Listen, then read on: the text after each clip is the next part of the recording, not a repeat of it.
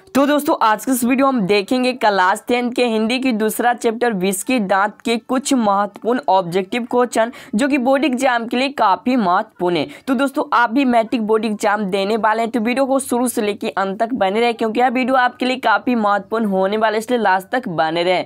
सो नमस्कार, मेरा नाम सोनू, आप देख रहे एजुकेशन गोप्ता जो यूट्यूब चैनल चैनल पहले बार चैनल को सब्सक्राइब कर ले, साथ में बेल आइकन का उसको भी दबा ली, ताकि लेटेस्ट वीडियो आपको मिलता रहे बिल्कुल फ्री। दोस्तों वीडियो को शुरू करने से पहले वीडियो को लाइक करें। दोस्तों लाइक करने पैसा नहीं लगता है तो एक लाइक तो बनता है तो एक लाइक कर दे। और साथ ही अपने दोस्तों में, साथ ही फेसबुक ग्रुप व्हाट्सएप ग्रुप में भी शेयर कर दे, ताकि जो भी छात्र तैयारी करना चाहते हुए भी अच्छी तरह से तैयारी करके अच्छे से अच्छे अंक ला सके। दोस्तों, इससे पहले का वीडियो आप नहीं देखे हैं तो चाहे कि प्ले लिस्ट में उपलब्ध या वीडियो के नीचे लिंक दिया हुआ जाके देख के सभी प्रश्न को अच्छी तरह से याद कर ले। दोस्तों, इस वीडियो में जितने भी प्रश्न काफ़ी महत्वपूर्ण प्रश्न है तो सभी प्रश्न को आप ध्यान से सुने अच्छे से याद कर ले ज़्यादा ज़्यादा कोशिश करें कि सभी प्रश्न को अच्छी तरह से याद कर ले। तो चलिए दोस्तों, इस कमाल के वीडियो को शुरू करते हैं। तो दोस्तों, आज के इस वीडियो हम देखेंगे दूसरा चैप्टर के कुछ महत्वपूर्ण प्रश्न, जो कि हम बात करें तो इसमें से छः से सात प्रश्न अवश्य एग्ज़ाम में आता है। तो यहाँ पे आप देख सकते हैं, जो प्रथम प्रश्न है कि नलिन विलोचन शर्मा का जन्म कहाँ हुआ था? नलिन विलोचन शर्मा का जन्म कहाँ हुआ था? तो दोस्तों, इसका राइट आंसर की हम बात कर ली तो इसका राइट आंसर जो ऑप्शन नंबर सी पटना में। तो दोस्तों, आपको ये याद है कि नलिन विलोचन शर्मा का जन्म कहाँ हुआ था? तो पटना में हुआ था। एक का आंसर ऑप्शन नंबर डी अगले प्रश्न यहाँ पे दो नंबर। दोनों प्रश्न की नलिन बिलोचन शर्मा का जन्म कब हुआ? नलिन बिलोचन शर्मा का जन्म कब हुआ? तो दोस्तों, इसका राइट आंसर की हम बात कर ली तो इसका राइट आंसर हो जाए ऑप्शन नंबर डी 1916 ईस्वी में। तो दोस्तों, आपको याद है कि नलिन बिलोचन शर्मा का जन्म कहाँ हुआ? तो पटना में हुआ था और कितना ईस्वी में हुआ था? तो उन्नीस सौ सोलह ईस्वी में इनका जन्म हुआ था, ठीक है? अगले प्रश्न यहाँ पे तीन नंबर। तीन प्रश्न की नलिन विलोचन शर्मा जी की माता का क्या नाम था? नलिन विलोचन शर्मा जी की माता का क्या नाम था? तो दोस्तों, इसका राइट आंसर की हम बात कर ली तो इसका राइट आंसर हो जाए option number A Ratnavati Sharma. तो दोस्तों, आपको याद है कि नलिन विलोचन शर्मा जी की माता का क्या नाम था? तो रत्नावती शर्मा था। तीन का सही आंसर ऑप्शन नंबर ए अगले प्रश्न यहाँ पे चार नंबर। चार प्रश्न की नलिन विलोचन शर्मा के पिता का नाम क्या था? नलिन विलोचन शर्मा के पिता का नाम क्या था? तो दोस्तों, इसका राइट आंसर की हम बात कर तो इसका राइट आंसर हो जाए option number D option number D है रामावतार शर्मा। तो दोस्तों, आपसे एग्ज़ाम में पूछ दिया जा सकता है कि नलिन विलोचन शर्मा जी के माता का क्या नाम है? तो माता का नाम है रत्नावती शर्मा और पिता के नाम पूछ दिया जाता है तो पिता का नाम है राम अवतार शर्मा। तो चार का आंसर का ऑप्शन नंबर डी अगले प्रश्न यहाँ पे पाँच नंबर पाँच नंबर प्रश्न है कि नलिन विलोचन शर्मा, जममता कौन सी भाषा भाषी थे? मतलब दोस्तों, नलिन विलोचन शर्मा जी जो जन्म से ही कौन सी भाषा भाषी थे? इसका हम राइट आंसर की बात कर ले तो इसका राइट आंसर हो जाए ऑप्शन नंबर डी भोजपुरी। तो दोस्तों, आपको ये याद है कि नलिन विलोचन शर्मा जन्म से ही कौन सी भाषा भाषी थे? तो भोजपुरी थे। तो पाँच का सही आंसर ऑप्शन नंबर डी अगली प्रश्न यहाँ पे छः नंबर छः नंबर प्रश्न है कि नलिन विलोचन जी की मृत्यु कब हुई? नलिन विलोचन जी की मृत्यु कब हुई? तो दोस्तों, इसका राइट आंसर की हम बात कर ली तो इसका राइट आंसर हो जाए ऑप्शन नंबर सी 1961 ईस्वी में। तो दोस्तों, आपको याद रखना है कि नलिन विलोचन जी की जो मृत्यु कब हुई तो वह 1961 ईस्वी में हुआ। काफ़ी महत्वपूर्ण प्रश्न है, जो कि पहले भी बोर्ड एग्ज़ाम में पूछे गए हैं कि नलिन विलोचन जी की मृत्यु कब हुई थी तो उन्नीस इकसठ ईस्वी में हुई थी। तो छः का सही आंसर ऑप्शन नंबर सी अगले प्रश्न स्क्रीन पे आप देख सकते हैं, सात नंबर प्रश्न की विश्व के दांत के लेखक कौन है? विश्व के दांत के लेखक कौन है? तो दोस्तों, इसका राइट आंसर की हम बात कर ली तो इसका राइट आंसर जो option number A Nalin Vilochan Sharma. तो दोस्तों, आपको याद है कि विश्व के दांत के लेखक कौन है? तो नलिन विलोचन शर्मा जी हैं। सात का सही आंसर ऑप्शन नंबर ए यह भी जो प्रश्न है 2012 में पूछे गए हैं तो काफ़ी महत्वपूर्ण हम कह सकते हैं। हो सकता है तो यह भी प्रश्न आपके बोर्ड एग्ज़ाम में आ सकता है कि विश्व के दांत के लेखक कौन है तो नलिन विलोचन शर्मा जी है। सात का सही ऑप्शन नंबर ए। अगले प्रश्न यहाँ पे आठ नंबर। दोस्तों, आठवां प्रश्न की लेखक ने एम ए किस विश्वविद्यालय से किया? लेखक ने एम ए किस विश्वविद्यालय से किया? तो दोस्तों, इसका राइट आंसर की हम बात कर ली तो इसका राइट आंसर जो ऑप्शन नंबर बीस का राइट आंसर है पटना विश्वविद्यालय। तो दोस्तों, आपको याद है कि लेखक ने एम ए किस विश्वविद्यालय से किया? तो पटना विश्वविद्यालय से किया। तो आठ का सेंस ऑप्शन नंबर बी अगले प्रश्न यहाँ पे नौ नंबर। दोस्तों, नौ नंबर प्रश्न है की सेन साहब की कार की कीमत है। सेन साहब की कार की कीमत है। तो दोस्तों, इसका राइट आंसर की हम बात कर ली तो इसका राइट आंसर हो ऑप्शन नंबर ए, साढ़े सात हज़ार रुपये तो दोस्तों, आपसे एग्ज़ाम में पूछ दिया जा सकता है कि सेन साहब की कार की कीमत कितनी है? तो साढ़े सात हज़ार रुपये है। यह जो प्रश्न है, दो में प्रथम पाली में पूछे गए हैं, ठीक है? तो नौ का जो सही आंसर है ऑप्शन नंबर ए हुआ साढ़े सात हज़ार रुपये अगले प्रश्न यहाँ पे दस नंबर दस नंबर प्रश्न की सेन साहब की आँखों का तारा है, सेन साहब की आँखों का तारा है। तो दोस्तों, इसका राइट आंसर की हम बात कर ली तो इसका राइट आंसर हो जाए ऑप्शन नंबर बी इसका राइट आंसर है खोखा। तो दोस्तों, आपसे एग्ज़ाम में पूछ दिया जा सकता है कि सेन साहब की आँखों का तारा है तो वह है खोखा, ठीक है? तो दस का सेंस ऑप्शन नंबर बी ये भी प्रथम पाली में 2019 में पूछे गए हैं तो काफ़ी महत्वपूर्ण प्रश्न है, ठीक है? अगले प्रश्न आप पे देख सकते हैं ग्यारह नंबर। दोस्तों ग्यारह प्रश्न की विष के दांत कैसी कहानी है? विष के दांत कैसी कहानी है? तो दोस्तों, इसका राइट आंसर की हम बात कर ली तो इसका राइट आंसर हो जाए ऑप्शन नंबर डी मनोवैज्ञानिक। तो दोस्तों, आपको याद करें कि विष के दांत कैसी कहानी है? तो मनोवैज्ञानिक है। तो ग्यारह का सेंस ऑप्शन नंबर डी ये भी प्रश्न दो हज़ार चौदह में पूछे गए तो काफ़ी महत्वपूर्ण प्रश्न है, ठीक है? और दोस्तों, अभी तक वीडियो को लाइक नहीं किए हैं तो वीडियो को लाइक कर दी क्योंकि लाइक करने, पैसा नहीं लगता है तो लाइक कर दे। और साथ ही अपने दोस्तों में, साथ ही फेसबुक ग्रुप व्हाट्सएप ग्रुप में भी शेयर कर दे, ताकि जो भी छात्र बोर्ड परीक्षा के लिए तैयारी कर रहे हैं तो वे भी अच्छी तरह से तैयारी करके अच्छे से अच्छे अंक ला सके। और दोस्तों, इससे पहले का वीडियो आप नहीं देखे तो वीडियो के नीचे लिंक दिया या चाहेंगे प्ले लिस्ट में उपलब्ध है, वहाँ जाके देख के सभी प्रश्न को अच्छी तरह से याद कर ले, ठीक है? याद करने से यह हो जाएगा कि आपको अच्छी तरह से तैयारी होगा और आप अच्छे से अच्छे अंक ला सकते हैं। दोस्तों आपको बता दें आप जो भी वीडियो देखते हैं उसके पाँच से छः दिन के बाद फिर से वह वीडियो को देखिए। इससे यह होगा कि रिविजन हो जाएगा मतलब कि इस रिपीट होने पर आपको जो भी प्रश्न नहीं याद रहेगा वैसे में याद हो जाएगा। ठीक है आपको रटने की कोई ज़रूरत नहीं है। जो भी आप देखते हैं वीडियो छः से सात दिन के बाद उसे देखते रहिए ठीक है? तो उससे आपको अच्छी तरह से याद हो जाएगा। दोस्तों आप, आपको हम बता दें कि मैथ के किसी प्रश्न में डाउट है तो डाउटर ऐप डाउनलोड कर लीजिए। काफ़ी बेहतर ऐप है जिसकी मदद से आप अच्छी तरह से तैयारी करके अच्छे से अच्छे अंक ला सकते हैं। मान लीजिए कोई भी कोई भी प्रश्न में डाउट है तो उसे फ़ोटो खींचे क्रॉप कीजिए और सबमिट कर दीजिए। तीन सेकेंड के अंदर में वीडियो सोल्यूशन टेक सोल्यूशन आ जाएगा। हम बात करें तो मैथ के लिए काफ़ी बेहतर है।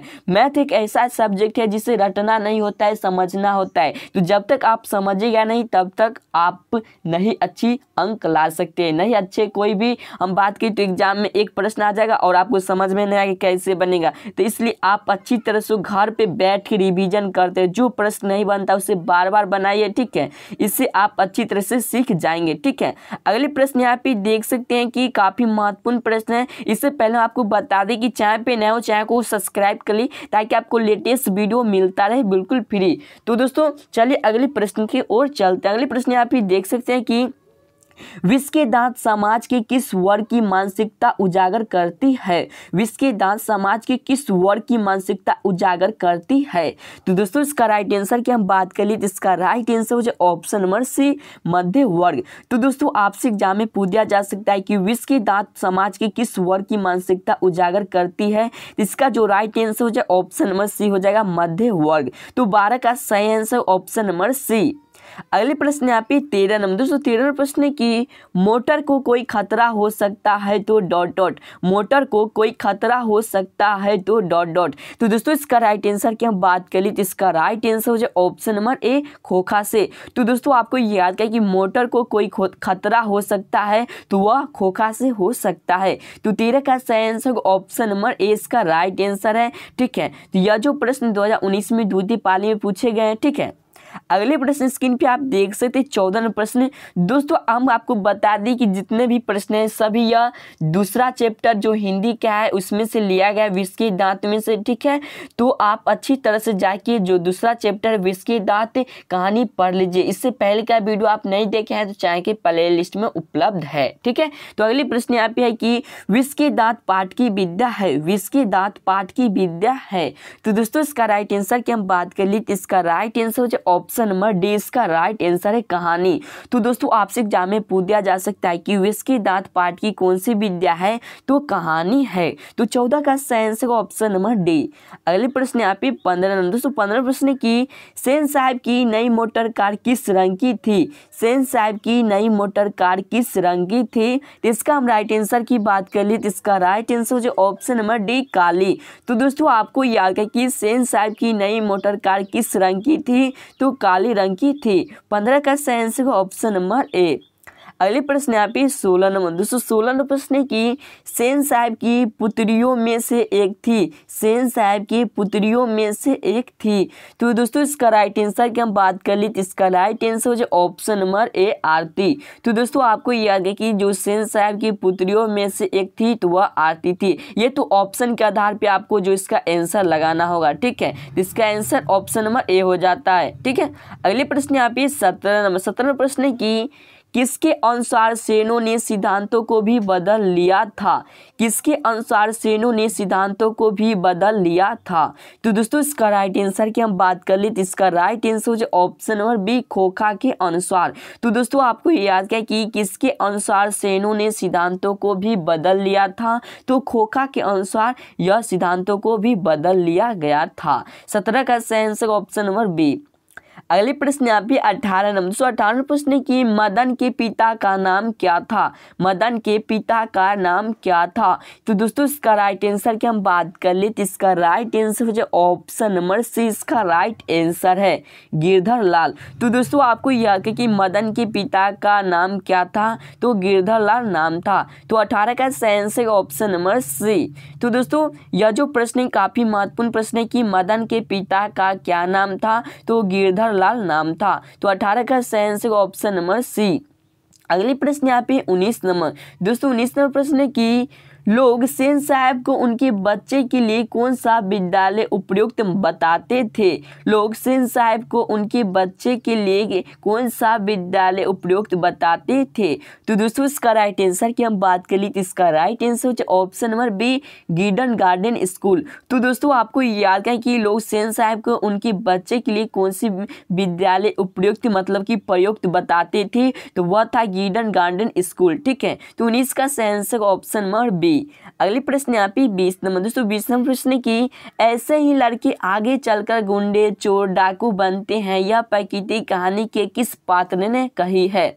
ऐसे ही लड़के आगे चलकर गुंडे, चोर, डाकू बनते हैं, यह प्रकृति कहानी के किस पात्र ने कही है? तो दोस्तों, इसका राइट आंसर की बात कर ली तो इसका राइट आंसर जो option number C Sen Saheb ने। तो दोस्तों, अगर आप कहानी पढ़िएगा तो आपको ये सभी जितने भी क्वेश्चन है, सभी का आंसर आपको मुँह पर ही ही याद हो जाए, इसलिए जाके आप कहानी पढ़ लीजिए। ऐसे ही लड़के आगे चलकर गुंडे चोर डाकू बनते हैं तो यह प्रकृति जो कि सेन साहब ने कहे थे, वह भी गिरधर लाल के बेटे को कहा था। तो बीस का सेंसर ऑप्शन नंबर सी।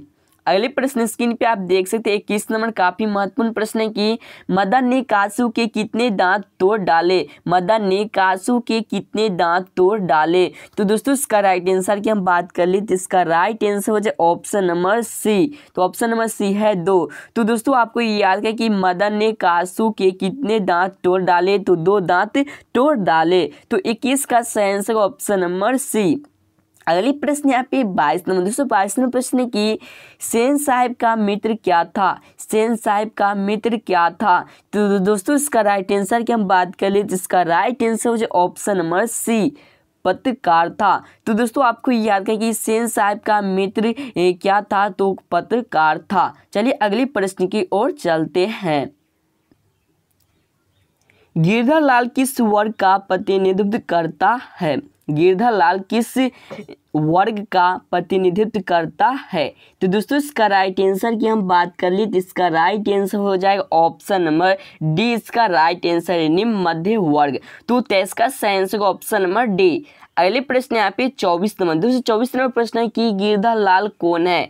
गिरधा लाल कौन है? तो दोस्तों, इसका राइट आंसर की हम बात कर ले तो इसका राइट आंसर हो जाए ऑप्शन नंबर बीस का राइट आंसर है मदन का पिता। तो दोस्तों, आपको याद है कि गिरधा लाल कौन है? तो मदन का पिता है। चौबीस का सही आंसर ऑप्शन नंबर बी अगले प्रश्न यहाँ पे पच्चीस नंबर। दोस्तों, पच्चीस नंबर प्रश्न है कि मदन की उम्र क्या थी? मदन की उम्र क्या थी? तो दोस्तों, इसका राइट आंसर की हम बात कर ली तो इसका राइट आंसर हो जाए ऑप्शन नंबर ए इसका राइट आंसर है पाँच से छः साल। तो दोस्तों, आपको याद है कि मदन की उम्र क्या थी? तो पाँच से छः साल थी, ठीक है?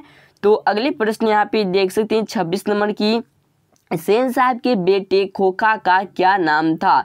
जहाँ दोस्तों, ये भी प्रश्न काफ़ी महत्वपूर्ण है कि जो सेन साहब के बेटे का दूसरा नाम क्या था, जिसका हम राइट आंसर की बात कर ले, जिसका राइट आंसर जो ऑप्शन नंबर ए कासू, ठीक है? तो इसका हम राइट आंसर की बात करें इसका जो राइट आंसर हो जाएगा ऑप्शन नंबर ए हो जाएगा, कासू। तो आपसे बोर्ड एग्ज़ाम में पूछ सकता है कि सेन साहब के बेटे का खोखा का दूसरा नाम क्या था? तो कासू नाम था। छब्बीस का सही आंसर ऑप्शन नंबर ए अगले प्रश्न यहाँ पे सत्ताईस नंबर। सत्ताईस नंबर प्रश्न की गिरधा लाल सेन साहब की फैक्ट्री में क्या था? गिरधा लाल सेन साहब की फैक्ट्री में क्या था? तो दोस्तों, इसका राइट आंसर की हम बात कर ले तो इसका राइट आंसर हो जाए ऑप्शन नंबर ए, किरानी। तो दोस्तों, आपको याद करें कि गिरधा लाल सेन साहब की फैक्ट्री में क्या था? तो किरानी था। सत्ताईस का सही को ऑप्शन नंबर ए। दोस्तों, अभी तक वीडियो को लाइक नहीं किए हैं तो वीडियो को लाइक कर दी क्योंकि आप लोग काफ़ी मेहनत करके वीडियो बनाते हैं ताकि आप अच्छे अंक ला सके। इसलिए आप वीडियो को लाइक कर दें और साथ ही इस वीडियो को ज़्यादा से ज़्यादा शेयर कर दें ताकि जो भी छात्र अपने बोर्ड एग्ज़ाम के लिए तैयारी कर रहे हैं तो वे भी अच्छी तरह से तैयारी करके अच्छे से अच्छे अंक ला सके। दोस्तों, इससे पहले का वीडियो आप नहीं देखे हैं तो हमको बार बार कहते हैं जो कि चाहें कि प्ले लिस्ट में उपलब्ध है, वहाँ जाके देख ले। ठीक है? बहुत सारे वीडियो अपलोड हो चुके हैं जो कि आप वहाँ से जाके देख सकते हैं। दोस्तों चैनल पे नए हो चैनल पे पहली बार विज़िट कर रहे हो तो चैनल को सब्सक्राइब कर ली ताकि आपको लेटेस्ट वीडियो मिलता रहे बिल्कुल फ्री। तो चलिए अगले प्रश्न की ओर चलते हैं। तो दोस्तों, अगले प्रश्न यहाँ पे देख सकते हैं कि सेन साहब की कार को किससे खतरा था? सेन साहब की कार को किससे खतरा था? तो दोस्तों, इसका राइट आंसर की हम बात कर लेते इसका राइट आंसर जो ऑप्शन नंबर डी खोखा से। तो दोस्तों, आपको याद है कि सेन साहब की कार को किससे खतरा था? तो खोखा से था। ठीक है तो अट्ठाईस का सही आंसर ऑप्शन नंबर डी अगले प्रश्न यहाँ पे उनतीस नंबर। दोस्तों, उनतीस नंबर प्रश्न की मदन किससे उलझ रहा था? मदन किससे उलझ रहा था? तो दोस्तों, इसका राइट आंसर की हम बात कर ले तो इसका राइट आंसर जाए ऑप्शन नंबर ए, सोफर से। तो दोस्तों, जो मदन था, वह किससे उलझ रहा था? तो सोफर से उलझ रहा था।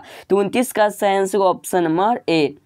अगले प्रश्न यहाँ पे तीस नंबर। दोस्तों, तीस नंबर प्रश्न की खोखा को ट्रेनिंग देने के लिए घर पर कौन आता था? खोखा को ट्रेनिंग देने के लिए घर पर कौन आता था? तो दोस्तों, इसका राइट आंसर की हम बात कर ले तो इसका राइट आंसर हो जाए ऑप्शन नंबर डी हो जाएगा बढ़ई। जो लकड़ी वाला काम करता है, वह बढ़ई आता था खोखा को ट्रेनिंग देने के लिए। तो तीस का सही आंसर ऑप्शन नंबर डी अगली प्रश्न यहाँ पे इकतीस नंबर। दोस्तों इकतीस नंबर प्रश्न की मदन के पिता का क्या नाम था? मदन के पिता का क्या नाम था? दोस्तों, यहाँ पे देख सकते हैं कि वही प्रश्न को यहाँ पे किस प्रकार घुमा सकता है? यहाँ पे आपसे पूछ सकता है कि गिरधर का बेटा का क्या नाम था? ठीक है तो यहाँ पे पूछ सकता है कि मदन के पिता का क्या नाम था? तो उसी प्रकार यहाँ पे देख सकते हैं कि जो आपको यहाँ पे जो प्रश्न है इससे आपसे एग्ज़ाम में छोटा सा प्रश्न पूछा जाता है। लेकिन छोटा सा प्रश्न में अगर बात करें तो बड़ा प्रश्न का आंसर छिपा रहता है। मतलब कि घुमा दिया जाता है, जो कि आपको समझ में नहीं आएगा, ठीक है? तो इसका हम राइट आंसर की बात करें तो इसका right answer option number B Girdhar Lal तो दोस्तों, आपको याद करें कि जो मदन के पिता का क्या नाम था? तो गिरधर लाल नाम था। यहाँ पे ऑप्शन नंबर डी में देख सकते हैं कि गिरधरधारी लाल है, ठीक है? तो ये ऑप्शन गलत है। आपको बीस का राइट आंसर है, ठीक है? अगले प्रश्न यहाँ पे बत्तीस नंबर। दोस्तों, बत्तीस नंबर प्रश्न की, मदन अक्सर किसके हाथों से पिटता था? मदन अक्सर अक्सर किसके हाथों से पिटता था? तो दोस्तों, इसका राइट आंसर की हम बात कर ले इसका राइट आंसर जो ऑप्शन नंबर डी पिता के हाथों से। तो दोस्तों आपको याद है कि मदन अक्सर किसके हाथों से पिटता था? तो पिता के हाथों से पिटता था। तो बत्तीस का साइंस ऑप्शन नंबर डे अगले प्रश्न यहाँ पे तैंतीस नंबर। दोस्तों, तैंतीस नंबर प्रश्न की लड़कियाँ क्या है? लड़कियाँ क्या है? कठपुतलियाँ हैं। किससे इस बात पर गर्व है? लड़कियाँ क्या है? ये कठपुतलियाँ हैं। किसे इस बात पे गर्व है? तो दोस्तों, इसका राइट आंसर की हम बात कर ली तो इसका राइट आंसर जो ऑप्शन नंबर डी माता पिता को। तो दोस्तों, जो सेन साहब थे और उनके पत्नी थे, उनके और दोनों को दोनों को मिला हम बात की तो जो उनको काफ़ी गर्व था कि जो मेरे लड़कियाँ हैं, मेरे जो बेटी है, वह कठपुतलियाँ हैं, इस बात पर उनको गर्व था। तो तैंतीस का sense option option number D अगले प्रश्न यहाँ पे चौंतीस नंबर दोस्तों चौंतीस नंबर प्रश्न की कौवा की जमात में शामिल होने के लिए कौन ललक गया? कौवा की जमात में शामिल होने के लिए कौन ललक गया? तो दोस्तों, इसका राइट आंसर की हम बात कर ली तो इसका राइट आंसर जो ऑप्शन नंबर बी हंस तो दोस्तों, इसका जो राइट आंसर हो गया कि कौवा की जमात में शामिल होने के लिए कौन ललक गया तो हंस ललक गया। आपको हम बताए थे जब भी आप कहानी पढ़ेगा तो जो हम बात करें मदन और उस एक टोला में वह लड्डू नचा रहा था, ठीक है? तो लड्डू नचाने में जो सेन साहब के जो पुत्र हैं, खोखा जिसे हम कहते हैं, ठीक है? तो वह गया लड्डू नचाने, ठीक है? तो वह काम नहीं नचाने देंगे, ठीक है? मतलब कि कुछ जानवे कहते हैं कि जो गाँव घर की बात उसी पर का। तो वह उसी में मतलब कि झगड़ा, उसी में मदन ने गुस्सा पे जो एक मतलब कि उसका पापा के इतना कार छू दिया तो उसी में उसके याद आ गया और उसने एक घुसा मारा और उसका दो डांट टूट गया, ठीक है? तो आपसे हो सकता है तो यह सब्जेक्टिव प्रश्न में भी पूछे जा सकता है तो आपको यह याद रखना होगा। तो चौंतीस का सेंस होगा ऑप्शन नंबर बी। अगले प्रश्न यहाँ पे पैंतीस नंबर। पैंतीस नंबर प्रश्न की सेन साहब जो दम पत्नी ने खोखा को क्या बनाना चाहते थे? सेन साहब की दम पत्नी ने खोखा को क्या बनाना चाहते थे? तो इसका हम राइट आंसर की बात कर ले तो इसका राइट आंसर हो जाए ऑप्शन नंबर बी इंजीनियर तो दोस्तों जो सेन साहब थे उन, उन वो अपने बेटे को क्या बनाना चाहते थे? तो इंजीनियर बनाना चाहते थे। तो पैंतीस का सेंस ऑप्शन नंबर बी तो दोस्तों इस वीडियो में जो क्लास टेंथ के हिंदी के दूसरा चैप्टर का ऑब्जेक्टिव था, वह पैंतीस ऑब्जेक्टिव प्रश्न था, जो कि पहले से आपको कितने ऑब्जेक्टिव प्रश्न याद थे, नीचे जाके कमेंट करिए। वीडियो पसंद आया तो वीडियो को लाइक ज़रूर कर दे, क्योंकि आपके लिए हम काफ़ी मेहनत करके बनाए तो एक लाइक तो बनता है तो एक लाइक कर दे। और साथ ही अपने दोस्तों में, साथ ही फेसबुक ग्रुप व्हाट्सएप ग्रुप में भी शेयर कर दे, ताकि सब स्टूडेंट पता चल सके और वे भी अच्छी तरह से तैयारी करके, अच्छे तरह से अंक ला सके। इससे पहले का वीडियो आप नहीं देखे हैं तो चैनल की प्ले लिस्ट में उपलब्ध है। और दोस्तों, चैनल नए हो, चैनल को सब्सक्राइब कर ले, ताकि आपको लेटेस्ट वीडियो मिलता रहे। बिल्कुल फ्री। तो दोस्तों, चलिए अगले प्रश्न की ओर चलते हैं, ठीक है? और भी हमको ढेर सारे वीडियो लेके आएँगे तो फिर मिलेंगे किसी और वीडियो के साथ। जय हिंद, आप सभी का दिन शुभ हो।